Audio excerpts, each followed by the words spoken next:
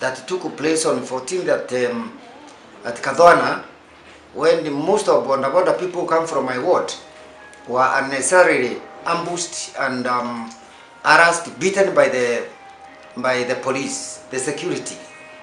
That was not the way to handle the issues. The boys had a call from the office of the governor so that they would go and get their licenses that they, they had promised for the last two years. They paid over 400,000 shillings through the office of the governor. And therefore, I'm saying it's a very bitter experience and that should not be repeated.